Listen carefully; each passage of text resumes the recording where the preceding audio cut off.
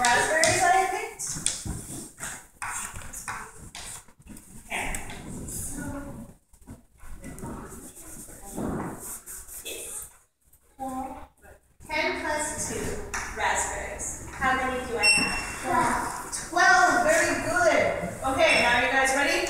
This is a big one. We are going to add up all of our fruits together. We have two apples. We have a total of six blueberries. We have four peaches. We have ten strawberries. And we have 12 raspberries. So, we're going to add all of these together. First, we have 6 plus 2